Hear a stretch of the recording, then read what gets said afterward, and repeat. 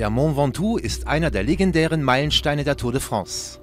Dieser fast schon heilige Berg steht mitten im Nichts.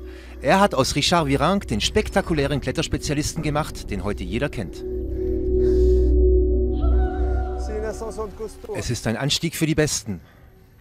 Nicht 10, nicht 15. Fast 20 Kilometer muss man mit Gegenwind angehen.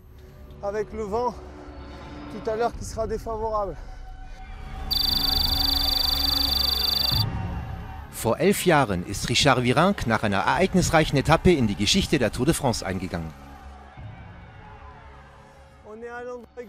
Genau hier habe ich angegriffen. Ich habe von einem Adrenalinschub profitiert und Botscharov angegriffen.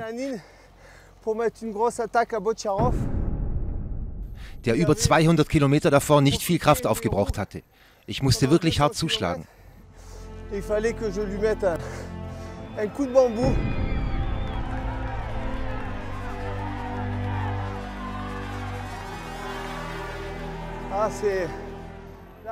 Es ist unglaublich, wenn Sie in Chalet Renard ankommen.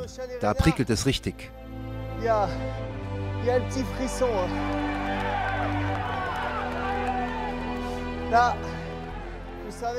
Da wusste ich schon, dass es ein Duell zwischen mir und dem Mont Ventoux sein würde.